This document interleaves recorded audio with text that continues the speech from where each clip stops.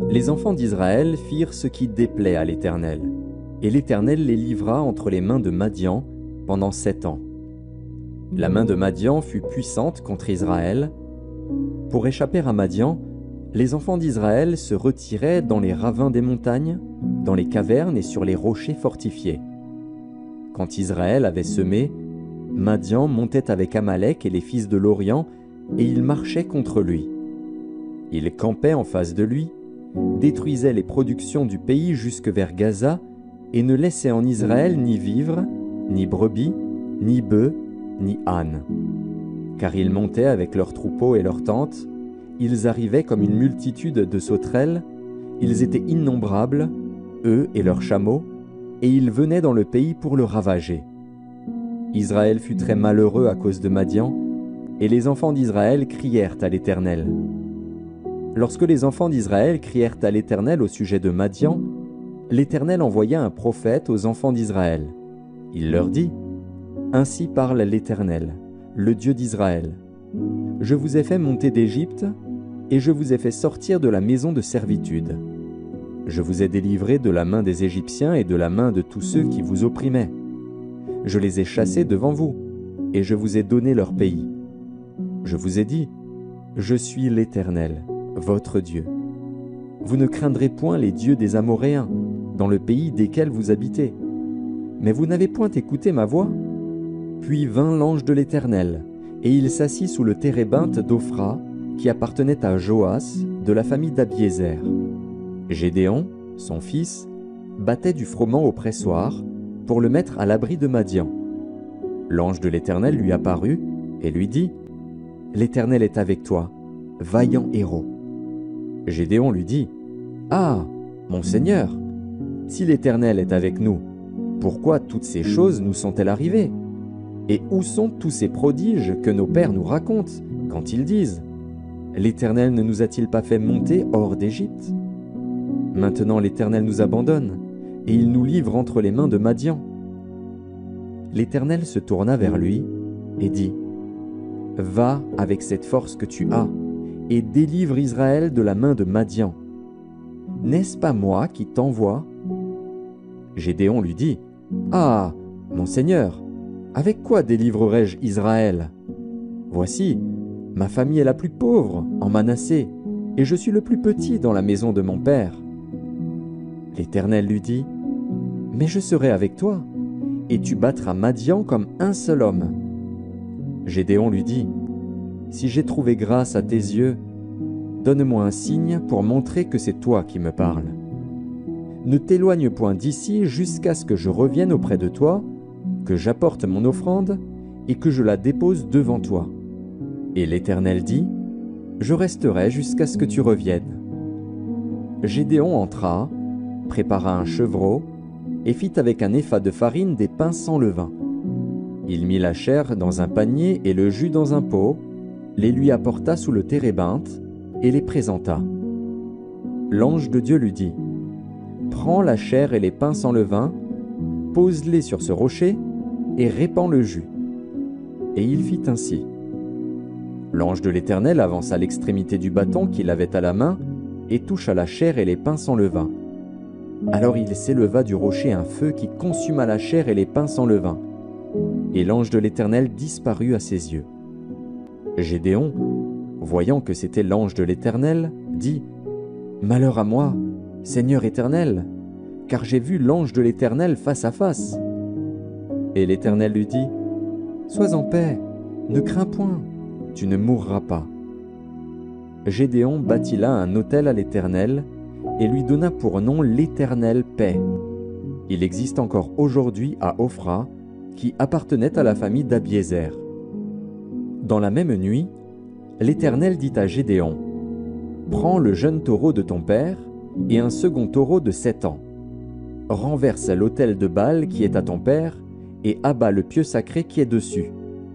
Tu bâtiras ensuite et tu disposeras, sur le haut de ce rocher, un autel à l'Éternel ton Dieu. Tu prendras le second taureau, et tu offriras un holocauste, avec le bois de l'idole que tu auras abattu. Gédéon prit dix hommes parmi ses serviteurs, et fit ce que l'Éternel avait dit. Mais, Comme il craignait la maison de son père et les gens de la ville, il l'exécuta de nuit et non de jour. Lorsque les gens de la ville se furent levés de bon matin, voici, l'autel de Baal était renversé, le pieu sacré placé dessus était abattu, et le second taureau était offert en holocauste sur l'autel qui avait été bâti. Ils se dirent l'un à l'autre, Qui a fait cela? Et ils s'informèrent et firent des recherches. On leur dit, C'est Gédéon, fils de Joas, qui a fait cela. Alors les gens de la ville dirent à Joas, Fais sortir ton fils, et qu'il meure, car il a renversé l'autel de Baal et abattu le pieu sacré qui était dessus. Joas répondit à tous ceux qui se présentèrent à lui, Est-ce à vous de prendre parti pour Baal Est-ce à vous de venir à son secours? Quiconque prendra parti pour Baal mourra avant que le matin vienne. Si Baal est un dieu, qu'il plaide lui-même sa cause, puisqu'on a renversé son autel. Et en ce jour l'on donna à Gédéon le nom de Jérubaal, en disant Que Baal plaide contre lui, puisqu'il a renversé son autel. Tout Madian, Amalek et les fils de l'Orient se rassemblèrent. Ils passèrent le Jourdain et campèrent dans la vallée de Gisréel. Gédéon fut revêtu de l'Esprit de l'Éternel. Il sonna de la trompette, et Abiézer fut convoqué pour marcher à sa suite. Il envoya des messagers dans tout Manassé, qui fut aussi convoqué pour marcher à sa suite. Il envoya des messagers dans Hazer, dans Zabulon et dans Nephtali, qui montèrent à leur rencontre. Gédéon dit à Dieu, Si tu veux délivrer Israël par ma main, comme tu l'as dit, voici, je vais mettre une toison de laine dans l'air. Si la toison seule se couvre de rosée et que tout le terrain reste sec, je connaîtrai que tu délivreras Israël par ma main, comme tu l'as dit. Et il arriva ainsi.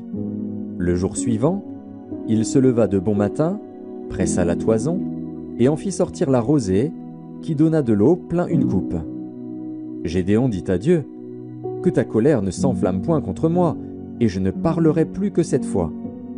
Je voudrais seulement faire encore une épreuve avec la toison. Que la toison seule reste sèche, et que tout le terrain se couvre de rosée. Et Dieu fit ainsi cette nuit-là. La toison seule resta sèche, et tout le terrain se couvrit de rosée. Jérubal, qui est Gédéon, et tout le peuple qui était avec lui, se levèrent de bon matin et campèrent près de la source de Harod. Le camp de Madian était au nord de Gédéon, vers la colline de Morée, dans la vallée. L'Éternel dit à Gédéon, Le peuple que tu as avec toi est trop nombreux pour que je livre Madian entre ses mains. Il pourrait en tirer gloire contre moi et dire, C'est ma main qui m'a délivré. Publie donc ceci aux oreilles du peuple que celui qui est craintif et qui a peur s'en retourne et s'éloigne de la montagne de Galaad. Vingt-deux mille hommes parmi le peuple s'en retournèrent, et il en resta dix mille. L'Éternel dit à Gédéon, Le peuple est encore trop nombreux. Fais-les descendre vers l'eau, et là je t'en ferai le triage. Celui dont je te dirai, que celui-ci aille avec toi, ira avec toi. Et celui dont je te dirai, que celui-ci n'aille pas avec toi, n'ira pas avec toi. Gédéon fit descendre le peuple vers l'eau, et l'Éternel dit à Gédéon, Tous ceux qui laperont l'eau avec la langue comme lappe le chien, tu les sépareras de tous ceux qui se mettront à genoux pour boire. Ceux qui lapèrent l'eau en la portant à la bouche avec leurs mains furent au nombre de trois cents hommes, et tout le reste du peuple se mit à genoux pour boire. Et l'Éternel dit à Gédéon, C'est par les trois cents hommes qui ont lapé que je vous sauverai et que je livrerai Madian entre tes mains. Que tout le reste du peuple s'en aille chacun chez soi. On prit les vivres du peuple et ses trompettes. Puis Gédéon renvoya tous les hommes d'Israël chacun dans sa tente, et il retint les trois cents hommes. Le camp de Madian était au-dessous de lui dans la vallée. L'Éternel dit à Gédéon pendant la nuit, Lève-toi, descends au camp, car je l'ai livré entre tes mains. Si tu crains de descendre, descends-y avec Pura, ton serviteur. Tu écouteras ce qu'ils diront, et après cela tes mains seront fortifiées. Descends donc au camp. Il descendit avec Pura, son serviteur, jusqu'aux avant-postes du camp. Madian, Amalek et tous les fils de l'Orient étaient répandus dans la vallée comme une multitude de sauterelles, et leurs chameaux étaient innombrables comme le sable qui est sur le bord de la mer. Gédéon arriva, et voici, un homme racontait à son camarade un songe. Il disait, J'ai eu un songe. Et voici, un gâteau de pain d'orge roulait dans le camp de Madian. Il est venu heurter jusqu'à la tente, et elle est tombée. Il l'a retournée sans dessus-dessous, et elle a été renversée. Son camarade répondit et dit, Ce n'est pas autre chose que l'épée de Gédéon, fils de Joas, homme d'Israël. Dieu a livré entre ses mains Madian et tout le camp. Lorsque Gédéon eut entendu le récit du songe et son explication, il se prosterna, revint au camp d'Israël et dit, Levez-vous, car l'Éternel a livré entre vos mains le camp de Madian. Il divisa en trois corps les trois cents hommes, et il leur remit à tous des trompettes et des cruches vides, avec des flambeaux dans les cruches. Il leur dit, Vous me regarderez et vous ferez comme moi. Dès que j'aborderai le camp, vous ferez ce que je ferai. Et quand je sonnerai de la trompette, moi et tous ceux qui seront avec moi, vous sonnerez aussi de la trompette tout autour du camp, et vous direz, Pour l'Éternel et pour Gédéon. Gédéon et les cent hommes qui étaient avec lui arrivèrent aux abords du camp au commencement de la veille du milieu, comme on venait de placer les gardes. Ils sonnèrent de la trompette et brisèrent les cruches qu'ils avaient à la main. Les trois corps sonnèrent de la trompette et brisèrent les cruches. Ils saisirent de la main gauche les flambeaux et de la main droite les trompettes pour sonner, et ils s'écrièrent Épée pour l'Éternel et pour Gédéon. Ils restèrent chacun à sa place autour du camp, et tout le camp se mit à courir, à pousser des cris et à prendre la fuite. Les trois cents hommes sonnèrent encore de la trompette, et, dans tout le camp, l'Éternel leur fit tourner l'épée les uns contre les autres. Le camp s'enfuit jusqu'à Bethshita vers Tserera, jusqu'au bord d'Abel-Méola près de Tabat. Les hommes d'Israël se rassemblèrent, ceux de Nephtali, d'Azer et de tout Manassé, et ils poursuivirent Madian. Gédéon envoya des messagers dans toute la montagne d'Éphraïm pour dire Descendez à la rencontre de Madian et coupez-leur le passage des eaux jusqu'à Beth-Bara et celui du Jourdain. Tous les hommes d'Éphraïm se rassemblèrent et ils s'emparèrent du passage des eaux jusqu'à Beth-Bara et de celui du Jourdain. Ils saisirent deux chefs de Madian, Horeb et Zib. Ils tuèrent Horeb au rocher d'Horeb et ils tuèrent Zib au pressoir de Zib. Ils poursuivirent Madian et ils apportèrent les têtes d'Horeb et de Zib à Gédéon de l'autre côté du Jourdain. Les hommes d'Éphraïm dirent à Gédéon, que signifie cette manière d'agir envers nous? Pourquoi ne pas nous avoir rappelé quand tu es allé combattre Madian? Et ils eurent avec lui une violente querelle. Gédéon leur répondit Qu'ai-je fait en comparaison de vous? Le grappillage d'Éphraïm ne vaut-il pas mieux que la vendange d'Abiézer C'est entre vos mains que Dieu a livré les chefs de Madian, Horeb et Zib. Qu'ai-je donc pu faire en comparaison de vous? Lorsqu'il eut ainsi parlé, leur colère contre lui s'apaisa. Gédéon arriva au Jourdain, et il le passa, lui et les trois cents hommes qui étaient avec lui, fatigués, mais poursuivant toujours. Il dit aux gens de Sukkot, Donnez, je vous prie, quelques pains au peuple qui m'accompagne, car ils sont fatigués, et je suis à la poursuite de Zébar et de Tsalmuna, roi de Madian. Les chefs de Sukkot répondirent, la main de Zébar et de Tsalmuna est-elle déjà en ton pouvoir pour que nous donnions du pain à ton armée? Et Gédéon dit Eh bien, lorsque l'Éternel aura livré entre mes mains Zébar et Tsalmuna, je broierai votre chair avec des épines du désert et avec des chardons. De là il monta à Pénuel, et il fit aux gens de Pénuel la même demande. Ils lui répondirent comme avaient répondu ceux de Sukkot. Et il dit aussi aux gens de Pénuel, Quand je reviendrai en paix, je renverserai cette tour. Zébar et Tsalmuna étaient à Carcor et leur armée avec eux, environ quinze mille hommes, tous ceux qui étaient restés de l'armée entière des fils de l'Orient. Cent vingt mille hommes tirant l'épée avaient été tués. Gédéon monta par le chemin de ceux qui habitent sous les tentes, à l'orient de Nobar et de Jogbéa, et il bâtit l'armée qui se croyait en sûreté. Zébar et Tsalmuna prirent la fuite.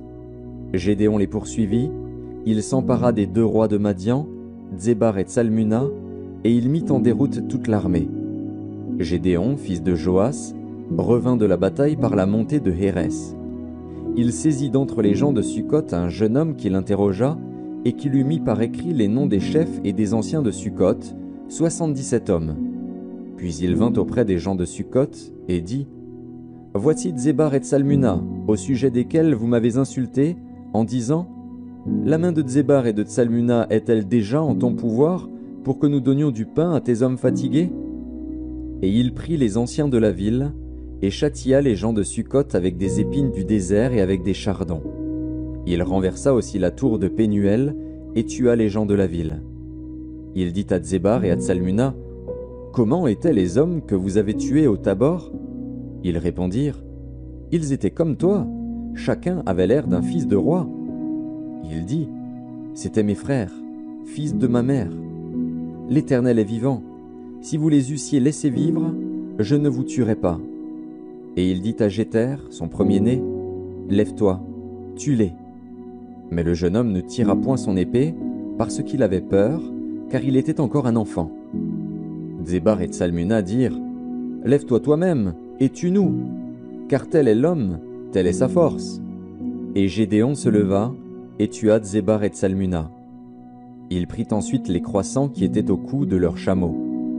Les hommes d'Israël dirent à Gédéon, Domine sur nous, et toi, et ton fils, et le fils de ton fils, car tu nous as délivrés de la main de Madian. Gédéon leur dit, Je ne dominerai point sur vous, et mes fils ne domineront point sur vous, c'est l'Éternel qui dominera sur vous. Gédéon leur dit, J'ai une demande à vous faire. Donnez-moi chacun les anneaux que vous avez eus pour butin. Les ennemis avaient des anneaux d'or, car ils étaient ismaélites. Ils dirent, Nous les donnerons volontiers. Et ils étendirent un manteau, sur lequel chacun jeta les anneaux de son butin. Le poids des anneaux d'or que demanda Gédéon fut de mille sept cents cycles d'or, sans les croissants, les pendants d'oreilles et les vêtements de pourpre que portaient les rois de Madian, et sans les colliers qui étaient au cou de leurs chameaux. Gédéon en fit un éphode, et il le plaça dans sa ville, à Ophra, où il devint l'objet des prostitutions de tout Israël. Et il fut un piège pour Gédéon et pour sa maison. Madian fut humilié devant les enfants d'Israël, et il ne leva plus la tête. Et le pays fut en repos pendant quarante ans, durant la vie de Gédéon. Jérubal, fils de Joas, s'en retourna et demeura dans sa maison. Gédéon eut soixante-dix fils, issus de lui, car il eut plusieurs femmes. Sa concubine, qui était à Sichem, lui enfanta aussi un fils, à qui on donna le nom d'Abimélec.